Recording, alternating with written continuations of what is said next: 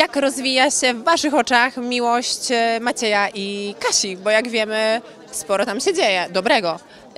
E, szczerze mówiąc, nie śledzę, e, nie za bardzo wiem, co się dzieje w ich życiu. E,